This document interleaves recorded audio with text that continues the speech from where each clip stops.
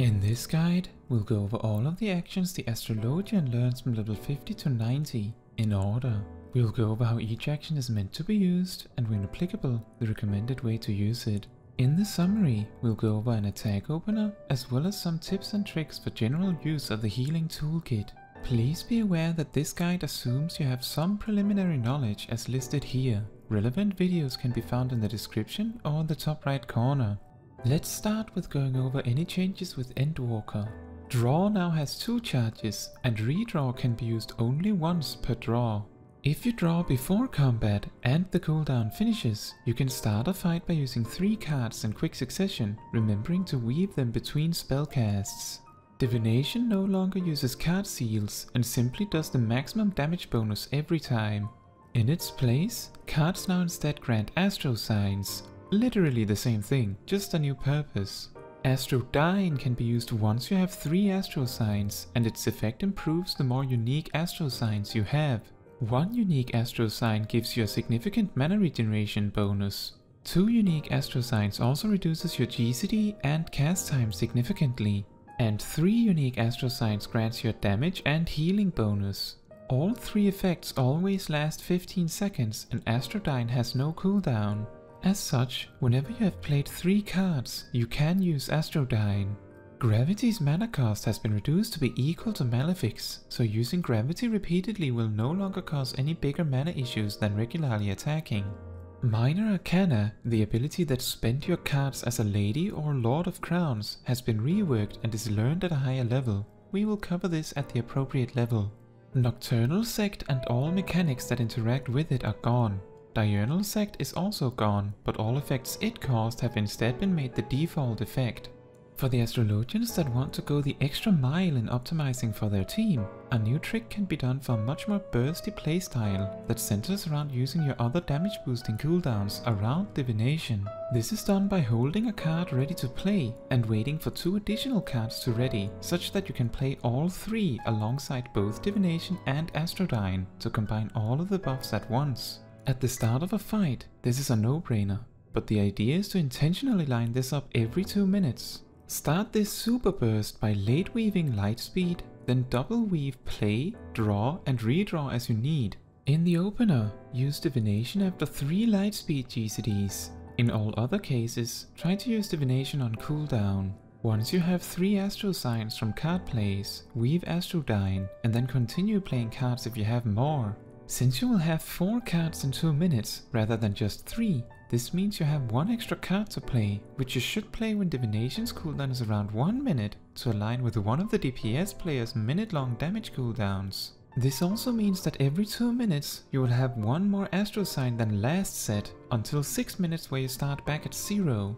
On the 6 minute version, where you start with Astrodyne and then play 3 cards, you should use the second Astrodyne just as the first one ends. This super burst is understandably very complex, and your job is first and foremost to keep the group alive, so I would just suggest that you take note that this strategy exists, and then when you feel more comfortable with the job, start trying to be more strategic with Astrodyne and card plays. Then this super burst style should emerge quite naturally for you as you get more experienced.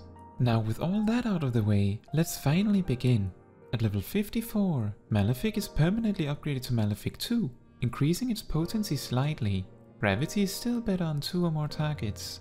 At level 58, you learn the ability Collective Unconscious, which causes you to channel a dome around you. Everyone inside it takes less damage and is repeatedly applied a healing over time effect. The most regular way this is used is to channel it briefly to apply the heal over time effect and then cancel to cast spells again. If there is no attackable target or a big raid-wide attack is incoming, it is not a bad idea to channel it until the hit lands. At level 60, you learn the ability Celestial Opposition, which is effectively an instant AoE version of Aspected Helios on a minute cooldown. This should be used before resorting to Aspected Helios, and this can even be used to apply heal over time effect without having to resort to Aspected Benefic, the regeneration effect stacks with other regeneration effects, including both Aspected Helios and Aspected Benefic. The potency and short cooldown of this ability makes it worth using for large pulls even if only the tank will benefit from the healing. At level 62, you learn the ability Earthly Star. On a minute cooldown, this places down a circle which does nothing at first. If you press the ability again, it bursts for healing to all allies in the area and damage to all enemies. If you instead wait 10 seconds, it primes, making its potencies greater. Then, either when you press the button again, or after another 10 seconds, it bursts. The area of the earthly star is absolutely monstrous, so as long as you don't actively make an attempt to place it far away from your group, or while you're moving away, your party will usually end up in it. If you know when the boss is pulled, you can place the earthly star beforehand, so it primes earlier. The usefulness of Earthly Star as a damaging tool means you should make an effort to use it as close to on cooldown as you can. At level 64, Malefic 2 is permanently upgraded to Malefic 3. This does not change anything in your rotation. At level 68, Lightspeed's cooldown is reduced slightly. This does not change your rotation at all.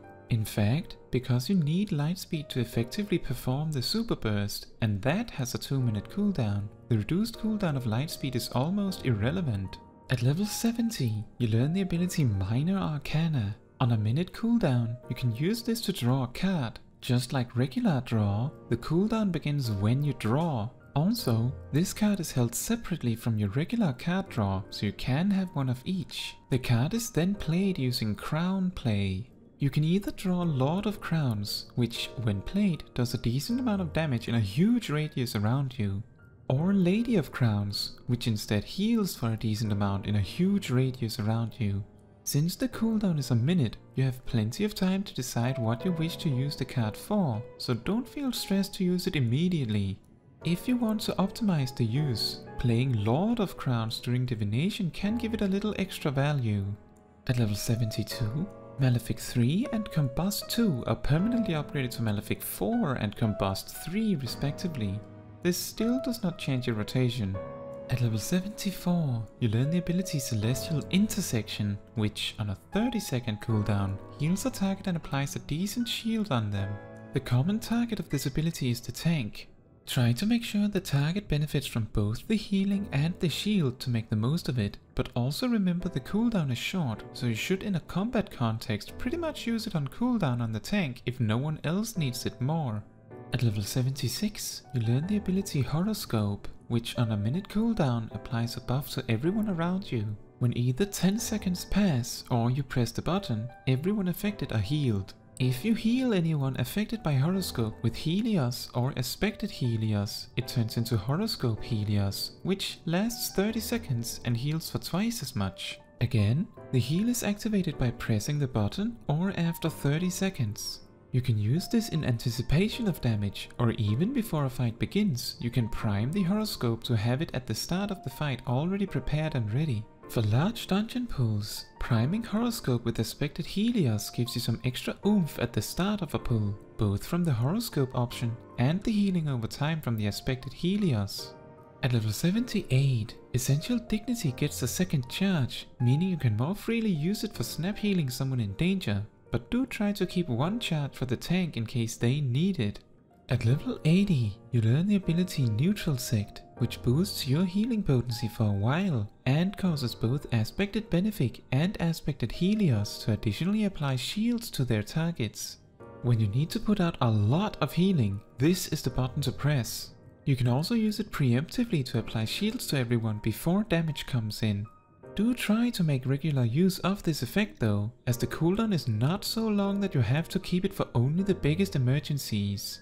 At level 82, Malefic 4 and Gravity are upgraded to Fall Malefic and Gravity 2 respectively, and still does not change your rotation. At level 85, all of your healing spells get a potency boost. This does not change how you use them, but is a welcome boost nonetheless. At level 86, you learn the ability Exaltation, which on a minute cooldown reduces damage taken by the target for a little bit. Then, when the effect ends, it heals them for a large amount.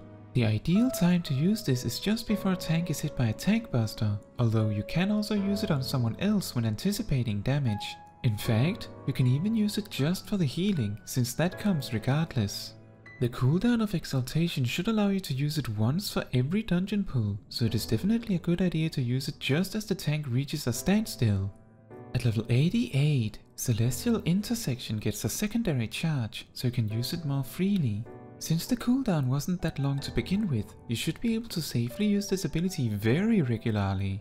Try to make sure it never sits on two charges, but only throw out the shield on someone that can benefit. At level 90, you learn the spell Macrocosmos. On a long 3 minute cooldown, casting this does damage in a huge radius around you to all enemies and then applies Macrocosmos to you and party members within the radius. This lasts 15 seconds. Then, the spell changes to the ability Microcosmos. While Macrocosmos is active, 50% of all damage taken is counted. When either the timer ends or the ability is pressed again, everyone is healed for a fixed amount, plus the amount counted for them.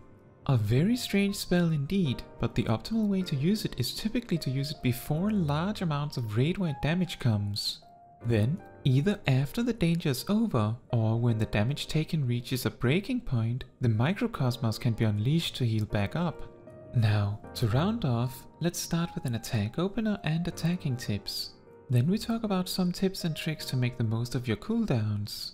These tips will be mostly focused on dungeons, as raids and trials tend to have a bigger focus on dealing with each mechanic individually, and often which tool is best for when can vary for each boss encounter.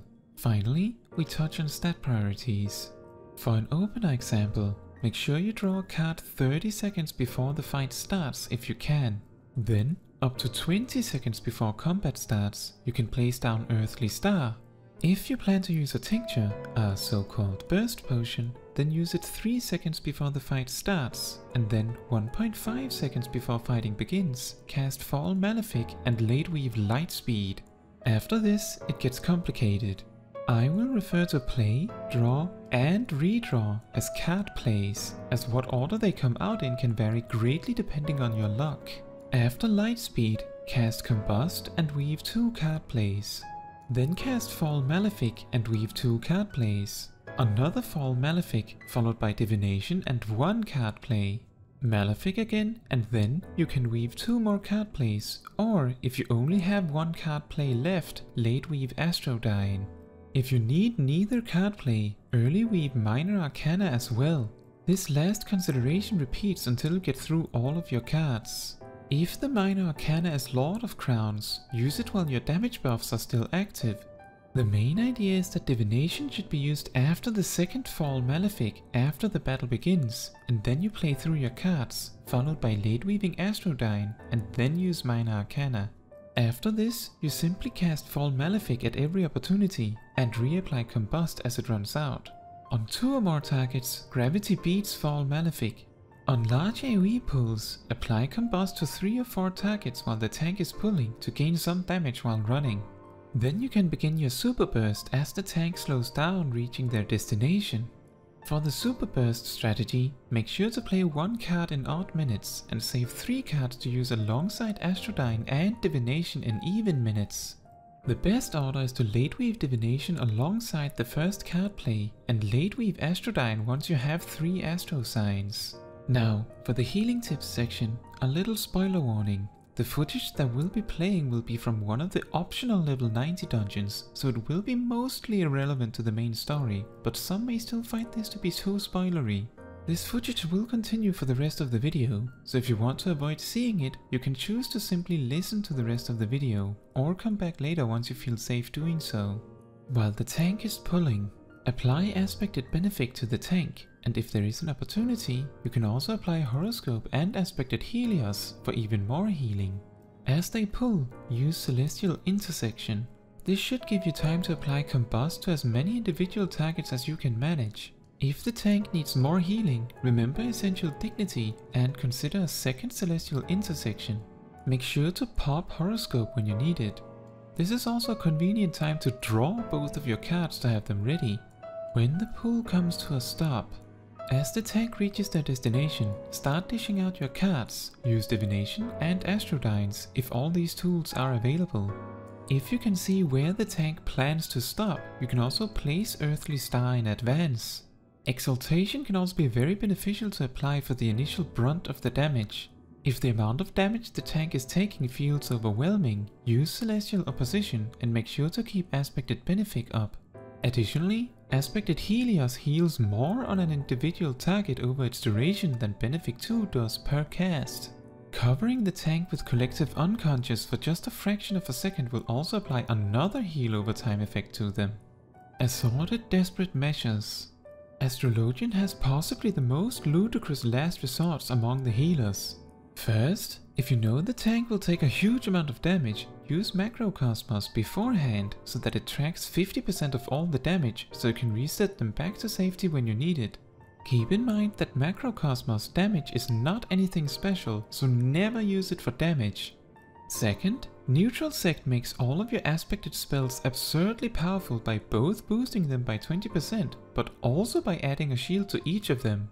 To put it into perspective, Neutral Sect Aspected Benefic, just as a bonus, applies a shield almost 10% bigger than Adloquium, instantly. And that is without even counting the healing bonus. Finally, when everything else fails, Synastry can be applied to the tank while you repeatedly cast Benefic 2, effectively boosting its potency by 40%.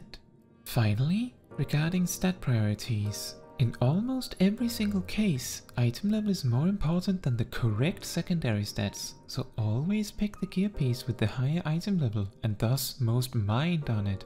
Next, Astrologian likes the general critical hit, direct hit, determination priority. Critical hit scales better than the competition.